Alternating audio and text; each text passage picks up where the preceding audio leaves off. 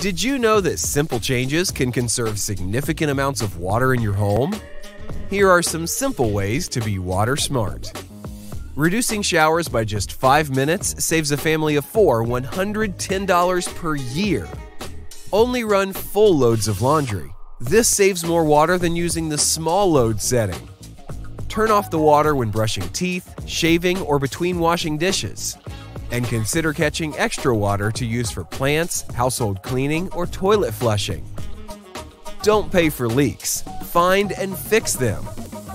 Start by writing down the reading on your water meter. Wait 3 hours without using any water and read it again. Changed? You have a leak. Upgrading to water efficient toilets, faucets, shower heads, and appliances can also help you save. Less than 2 gallons per minute is good. For more tips and info, visit ecoworksdetroit.org.